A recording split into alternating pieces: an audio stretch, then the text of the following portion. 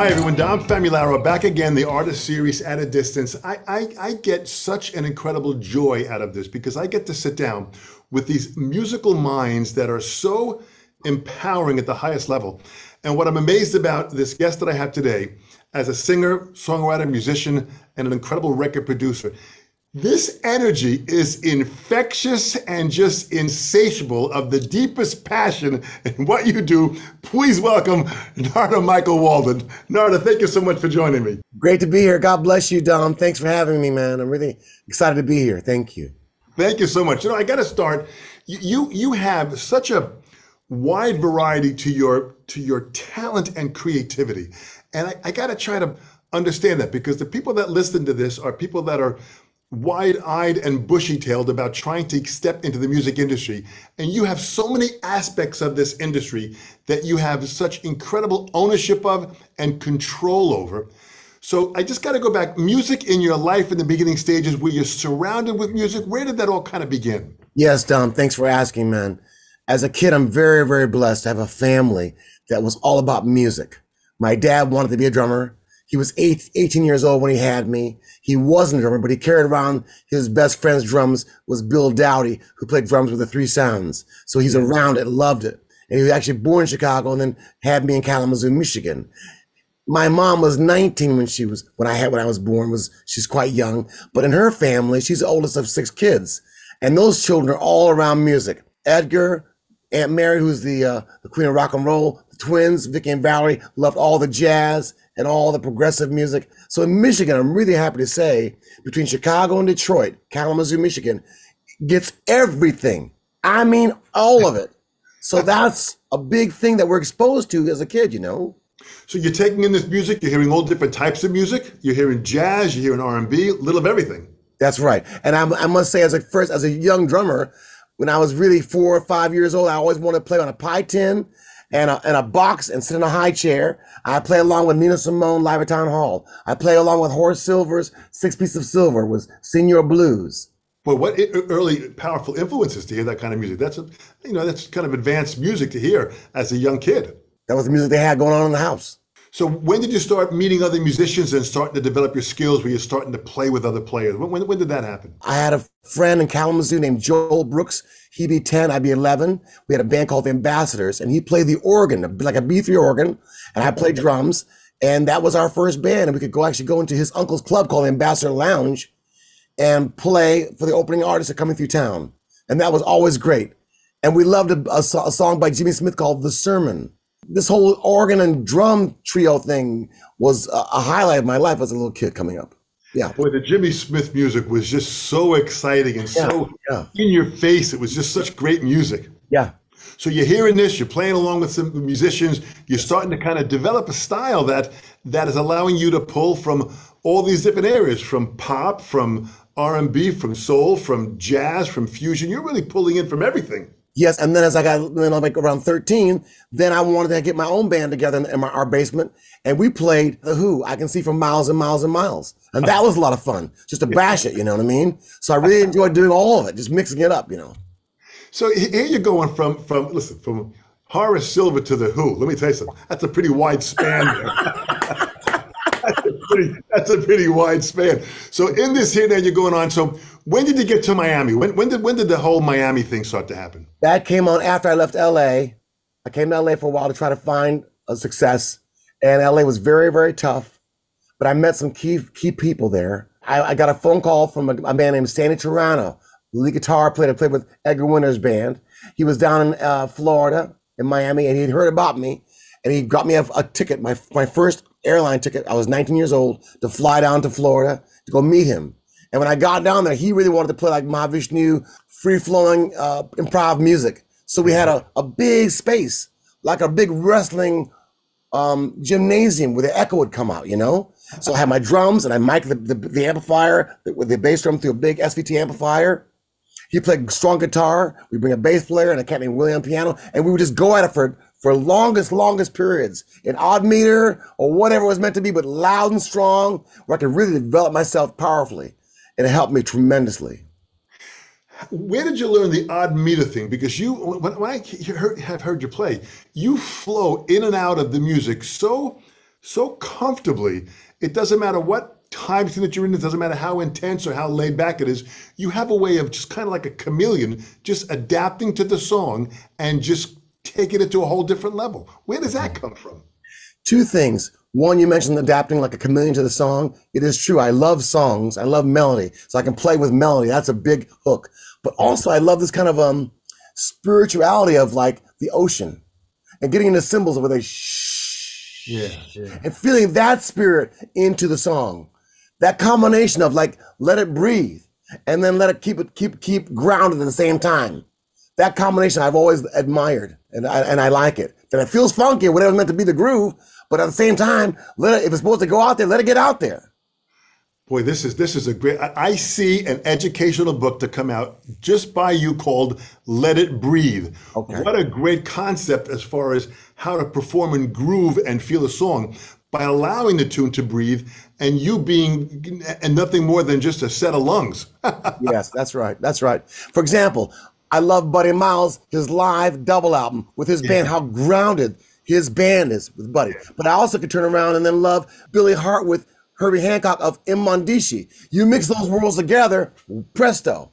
Then come along Billy Cobham, what he was doing with the first Mahavishnu Orchestra of Inner Mounting Flame and a Vital Transformation, and, and, and how funky he was with all the odd meters. That was mind blowing. Yeah. Yeah. And Yeah. Billy was the one that told me to check out to check you out.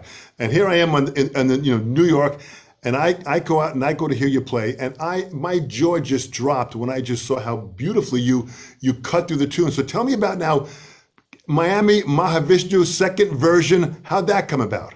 Well, Miami, because you mentioned Miami, there was a real breeding ground of so much talent at that time. Pat Metheny, Danny Gottlieb, Yeah. Hiram Bullock, Clifford Carter, Patti Scialfa, who went on to marry Bruce Springsteen.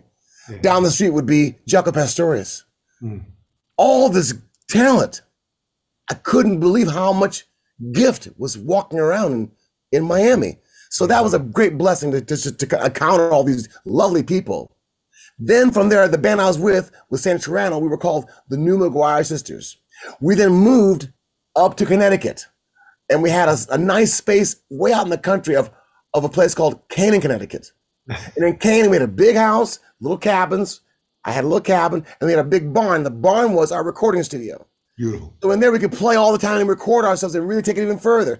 In there, we then found Ralph Armstrong from Detroit, Michigan. He he uh, auditioned over the phone on upright bass. We couldn't believe how how beautiful he was. So we flew him in.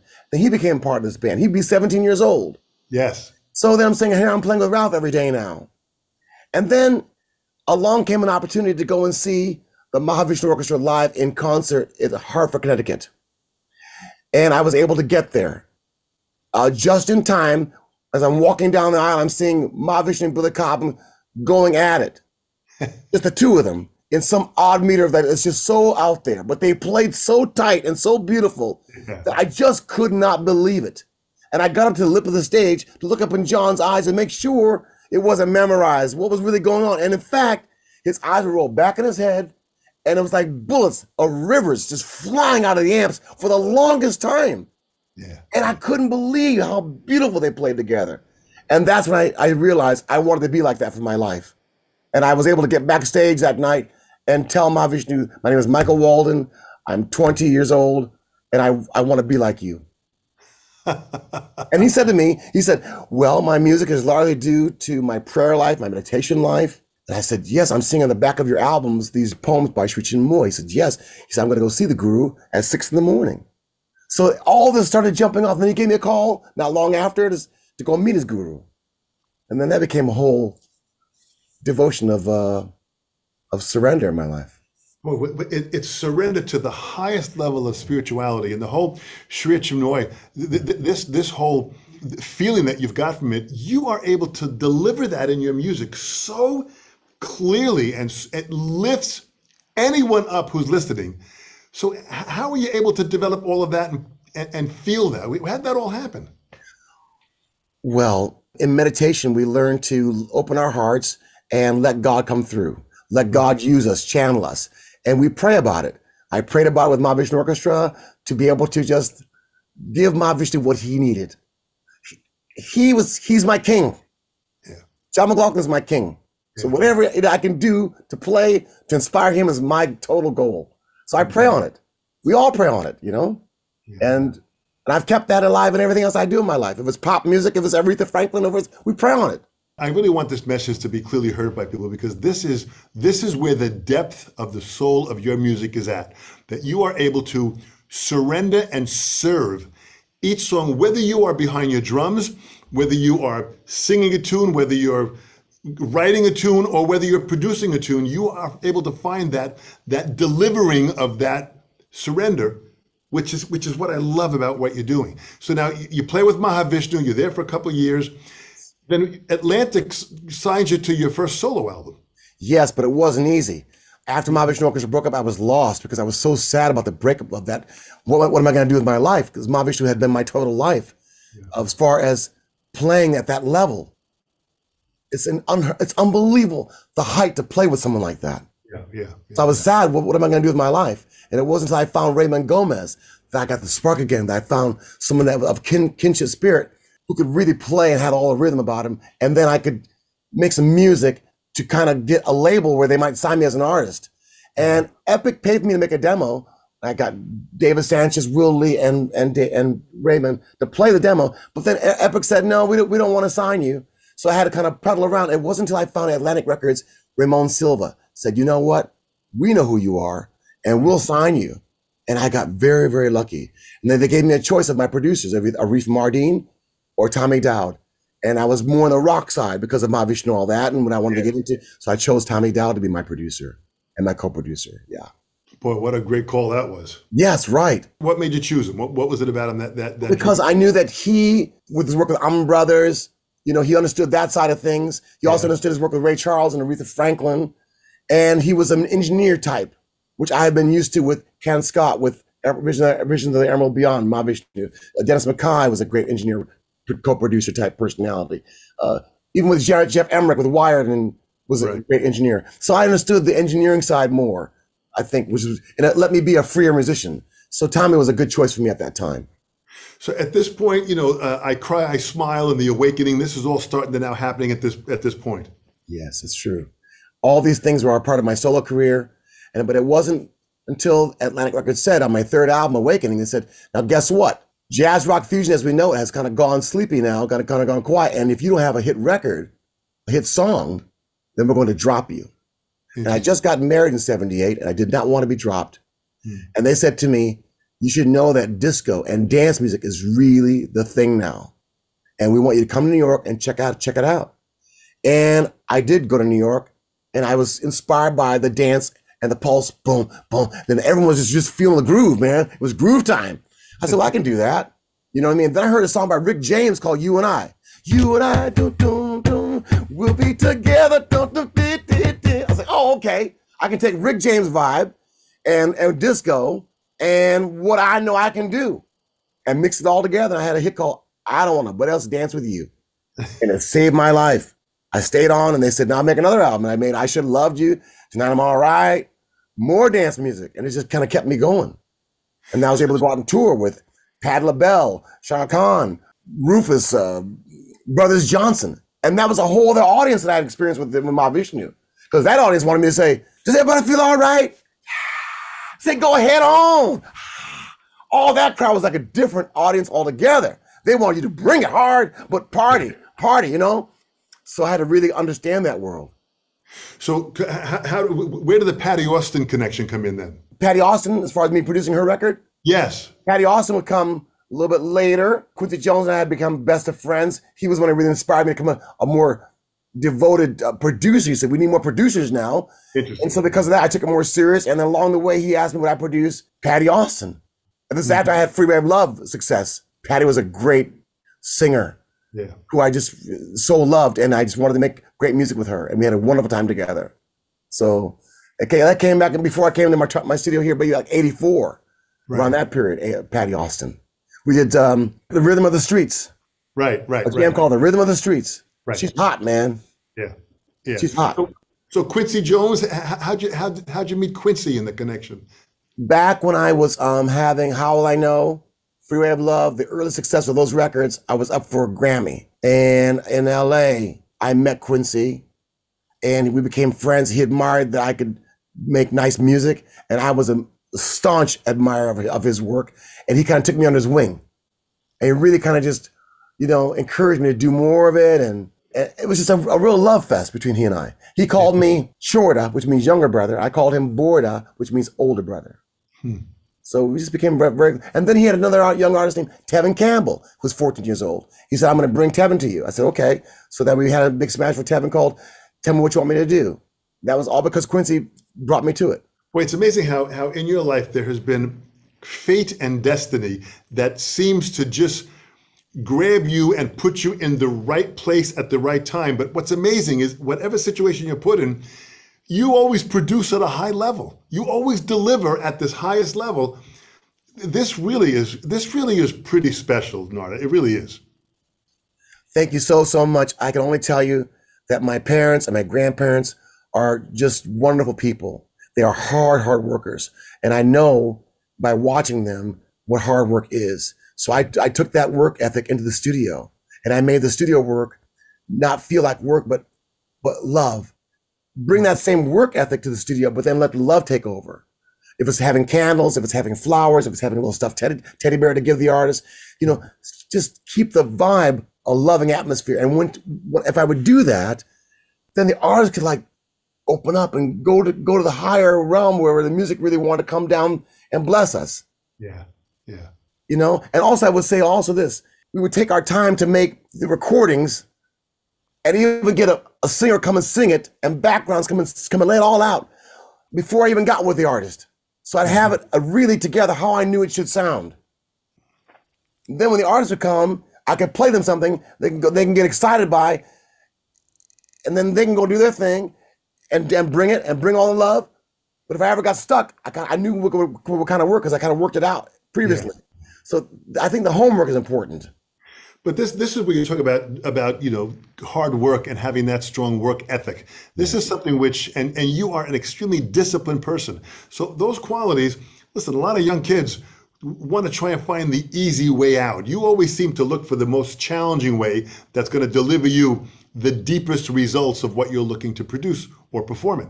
Where do you think that discipline all came from? Where, where'd that all hard work and that ethic come from?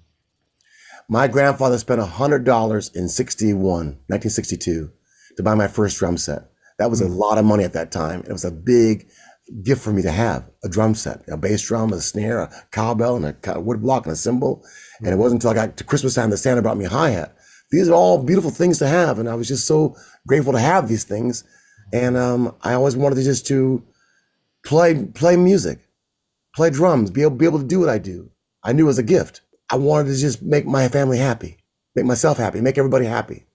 But you know, you, you use the word grateful, which I don't want that to be a slide by. Gratitude seems like it is you are screaming with gratitude and being grateful. I am. I look around me today. These beautiful lights, these beautiful these all these knobs and and and uh, my studio. You must come here. It, it, just feels so beautiful, and um, people have come here from James Brown to everyone to just to give their best. So I'm I'm breathing this air that they've they've given everything, and I'm just extremely grateful. This this, this whole thing has happened. You know, that's how I feel. Yeah hey, if those walls could talk for sure. Well, talk about talk about some of the artists. I mean, you you, you Aretha Franklin. How did that relationship develop? That's a gift from Clive Davis. After I got hot with Stacy Lattisaw, let, let me be your angel, and she was an 11 year old girl loving a two way street, and then Sister Sledge, I started working with them, and things are popping off.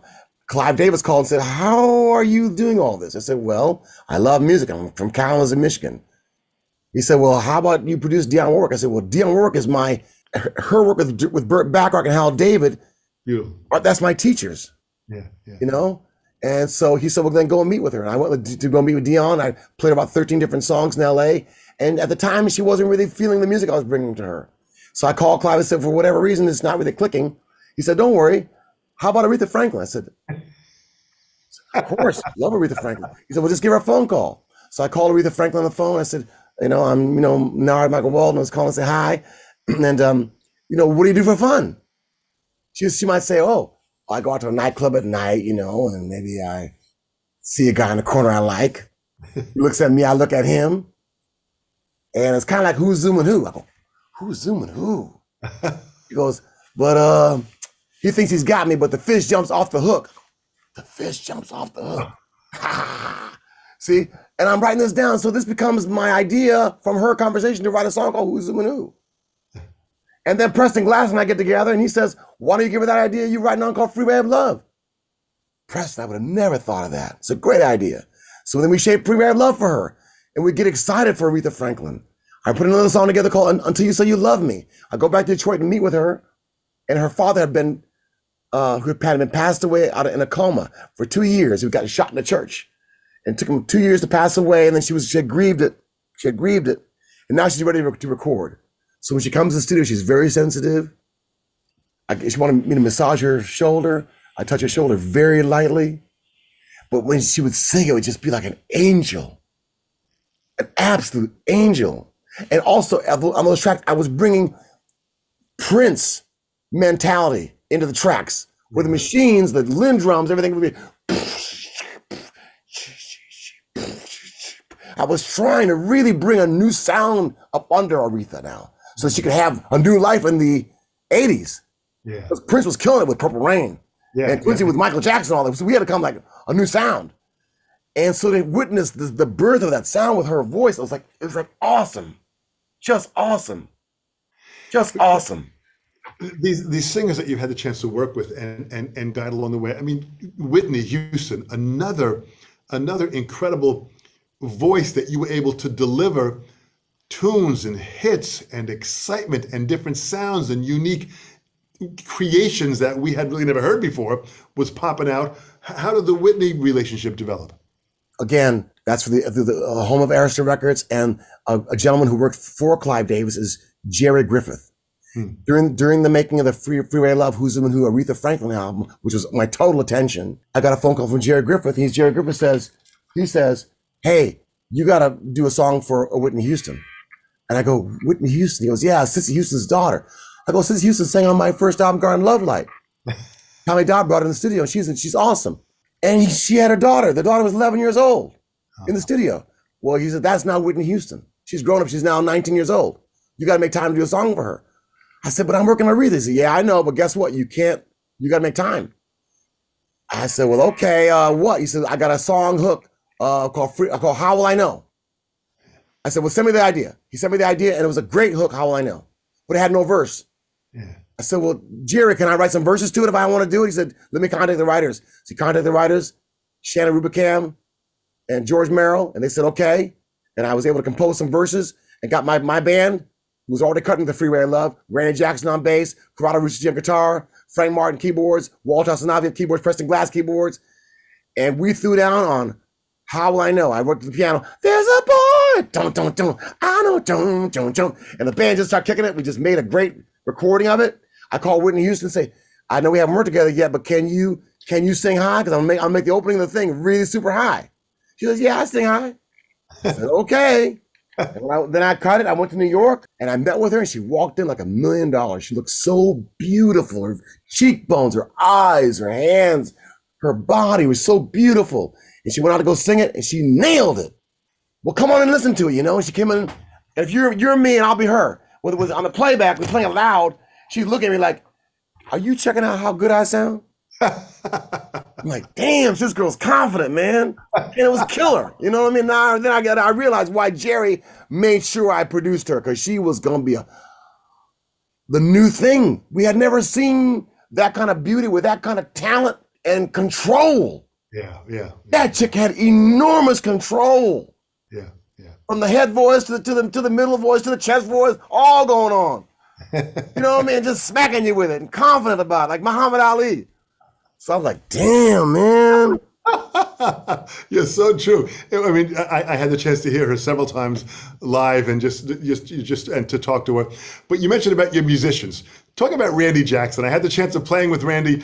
You, you surround yourself with such great musicians all the time. Yes, Randy is a genius bass player, mm. person, ears, can pick a hit with me. Like if I needed, if I had five songs, play Randy, what's gonna be the hit? That one? Yep. He had that kind of intuition about him. from Yeah. down south, down New- uh, New Orleans area, Lake Charles, New Lake Charles. Orleans. So he has all that soul about him. But then on the recordings for How I Know, the Aretha Franklin stuff, we discovered this Moog bass synthesizer, which he played with one finger, this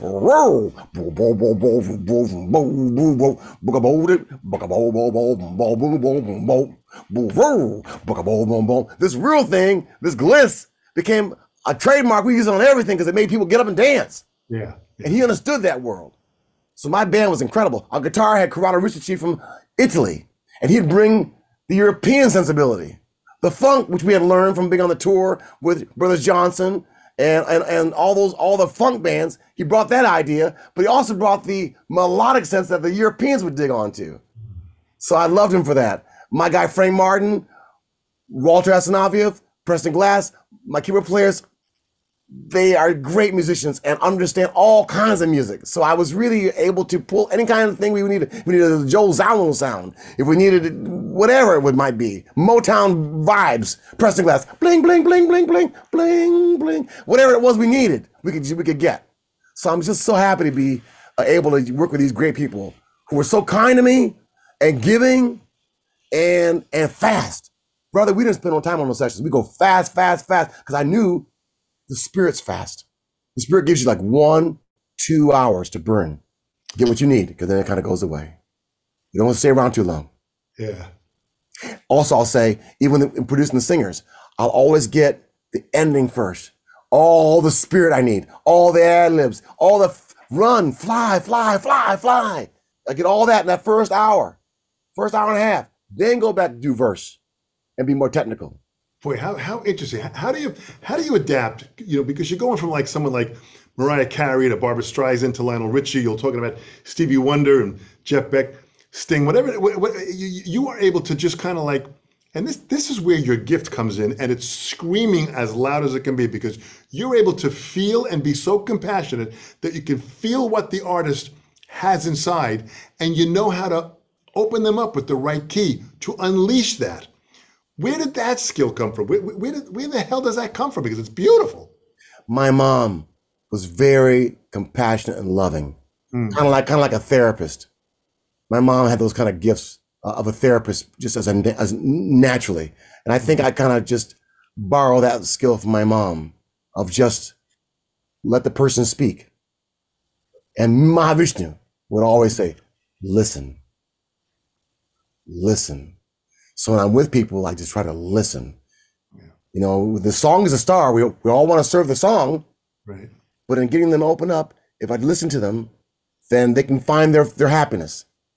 And then once the, the molecules take over, the endorphins take over, now we can both have fun with it and keep mm-hmm. it keep it bouncing high.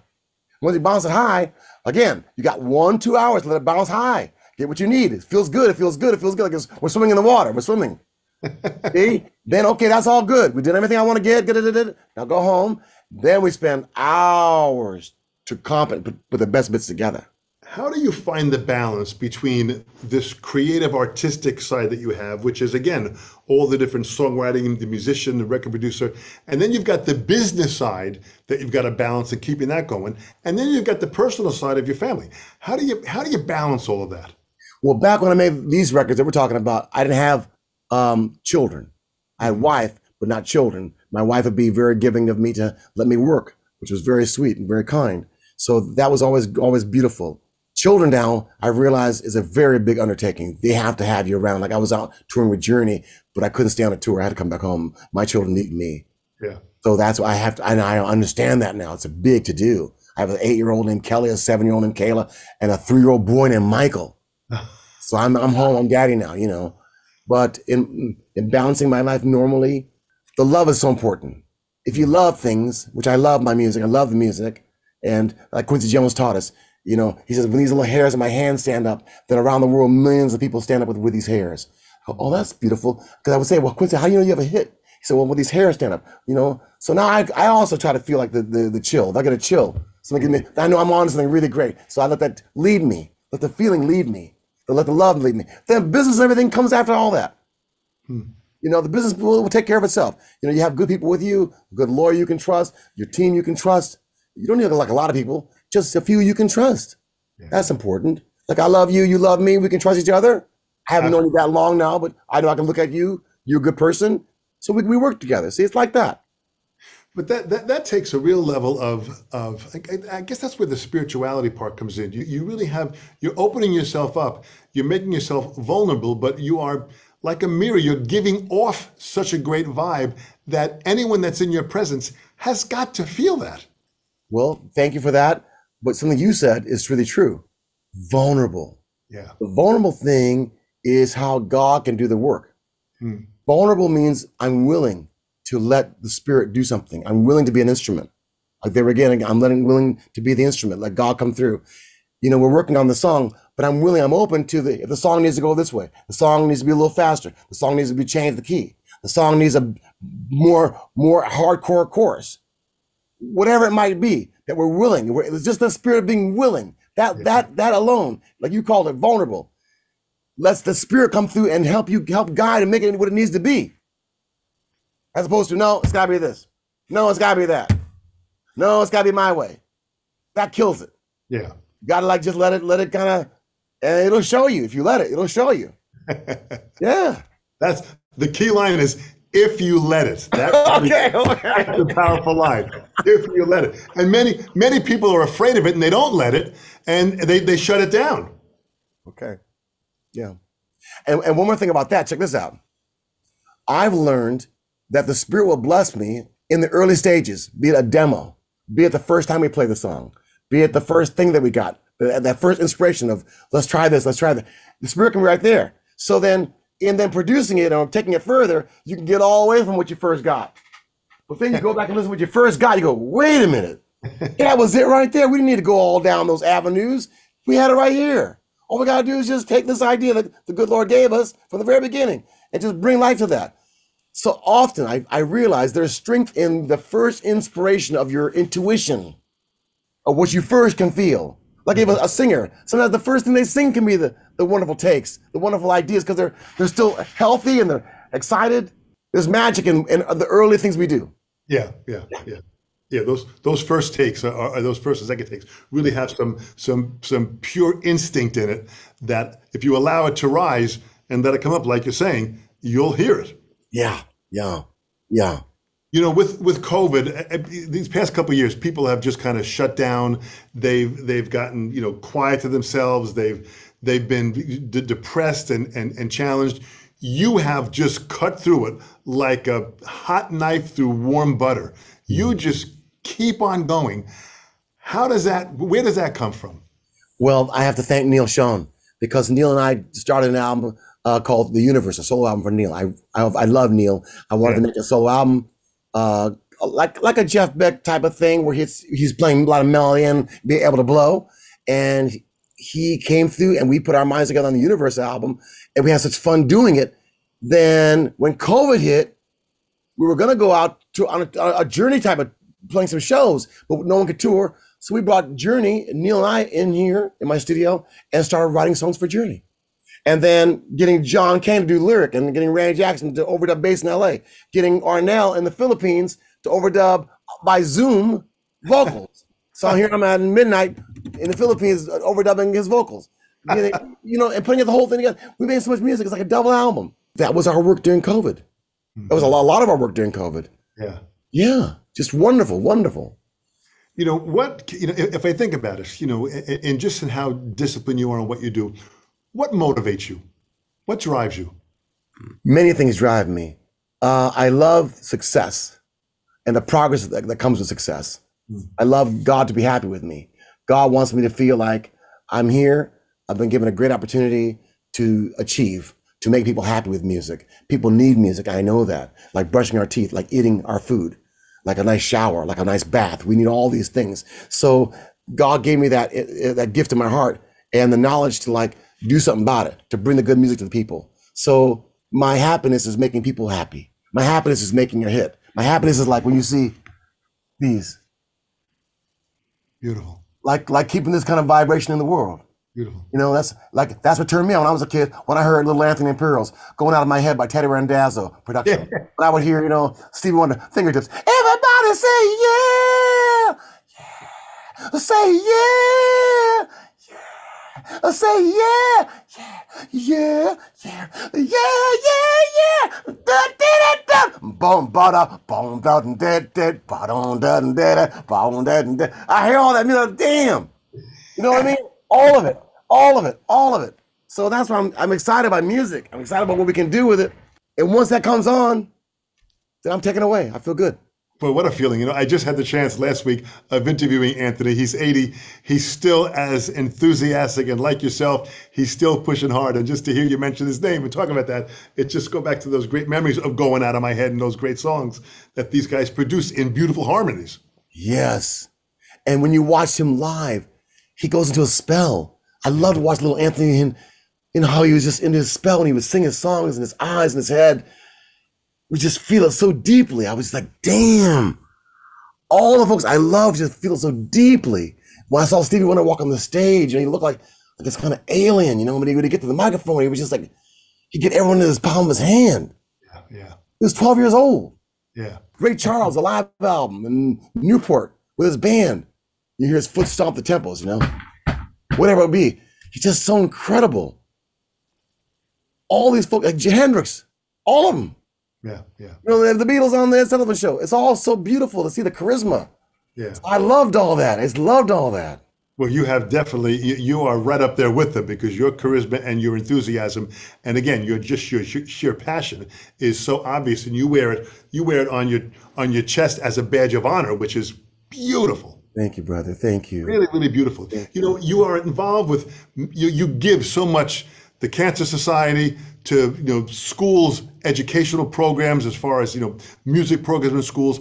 Just talk about that for a second. How, how do you you're giving back, balancing all of this with the producing and what you're doing, and you still make the time yes. to give back. I wouldn't be here had not been for people giving and helping me. So I take that little seed and just keep it alive in my own heart. Uh, my grandpa gave me my, my first drum set. My mom encouraged me to keep playing music it was it was always a giving spirit, a very natural thing. And so I, I know the world needs that. I joined the board on the Grammy board, and then they would say that music is going out of schools. There's no there's no program for music in schools. And so then I took it upon myself, whatever I could do to visit schools. And that's how our foundation became um, kind of important to bring kids in the studio, yeah. sing, do shows, and the more shows I would do, I would bring in a, a featured artist, be on Dionne Warwick, or Ronnie Spector, Martha Reeves and Vandellas, Carlos Santana, Clarence Clemons, Doobie Brothers. And then they would sing and play with the kids too. Then I realized that was a powerful thing. These kids would grow their confidence.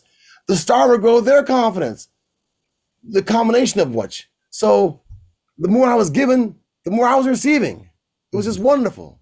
Yeah, well, this is the Narada Michael Walden Foundation. This is this is just such a deep, deep program that it just keeps on giving. It keeps on inspiring the young generation. It keeps on bringing all this new talent and and rising it to the top to the cream. It's just amazing to witness all the great talent that you're still finding now.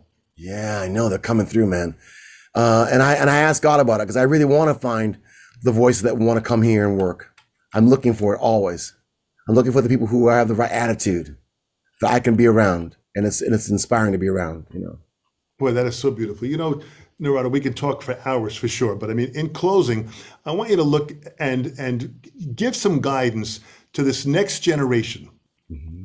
of what you would say to them, and they they may have one aspect of your life. They might just be a singer. They might just want to write songs. They might just be a musician. They might want to get into producing. Here you are doing all of it. What kind of advice could you give to this next generation that can give them the guidance and the and the and the clear path for them to find a level of happiness and or success? Whatever it is that you do, do it well. If you want to sing, sing in tune. Be able to hold the notes. Be able to captivate that you can hold the notes, hold the melodies. You know, with soul.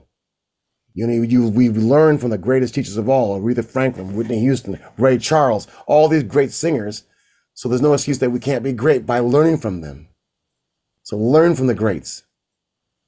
And if you're a musician, again, learn from the greats. Records are some of our greatest teachers. Listen, listen to those records and learn. And I'm realizing there nowadays there's so many great people coming up because they have access to YouTube where they can watch their favorite people and they can assimilate and there's so many kids coming up who are able to assimilate. But at the same time, just keep in your heart a love for yourself, a love for yourself, a love for what you're doing, and a love for the people, love for the for the situation that you're in. You get to do this. We get to have music. We get to have a life. We get to have air in our lungs. That life is a gift. So we want to honor this gift. Honor ourselves with more love. Honor the people with more love in the music. Keep this love going. Keep the tradition of love going. This, this is the God way. God knows that those of us who are chosen to do music, it's a blessing. So we honor it with, with our grateful hearts. We honor it with, with goodness. And we want to inspire the world. So I say less profanity in rap. Don't need it. Keep rap inspiring. You know, keep music inspiring and bring the world up. That's my advice on a, on a broad scale. Well, absolutely beautiful, Edardo. You know what's amazing is from the over 40 years when I first heard you, I was so impressed and so inspired. And through your career, as you've gone through all these different avenues of performing and singing and writing and producing and, and, and, and playing drums at such a high, exciting level, for myself as a drummer, you have always been an inspiration. And you've always been a person that has inspired people to aspire. You are the clearest example of that, that you're taking someone and you're giving them this soul of what you have been blessed with. You're delivering it in such a way through all these different people that you communicate with. And a little piece of Narada Michael Walden is in all of them. That goes out, that impresses people, that inspires people, and that lifts them. And you are still doing it stronger than ever. thank you, brother. Oh, thank you, thank you, thank you. You're very kind to me. I really love you, Dom. Thank you so much for inspiring me today your words and your attitude toward me have really lifted this this Zoom conversation that we're having to a, a very lofty level. And I'm really, really thankful for this uh, chat we're having today and for this lovely uh, discourse on a high level. And you're asking me very high questions, you know, and, and it's uh, you're pushing me, and I love it. So I want to thank you for that. It is I when I have a chance to sit down with a Da Vinci and a Michelangelo in an art form, I want to make sure that the questions that I bring to them allows them to be inspired to share. You have done that today. You have inspired as you continue to do that. Narada Michael Walden, on behalf of the Artist Series, we thank you so much. I love you. Keep on going. I look forward to seeing you in person at some point in the future. Thank you. Very kind, Dom. God bless you and all your fans and listeners. Thank love. you so much. Dom Famularo here, the Sessions panel. This is so exciting. Thanks for watching. Thanks for subscribing. Click the subscribe button to be a part of what we're doing. The views help us tremendously. All of your comments, we read them and react to them. This is incredible. The support you're giving us is great. The Sessions panel. We'll see you real soon.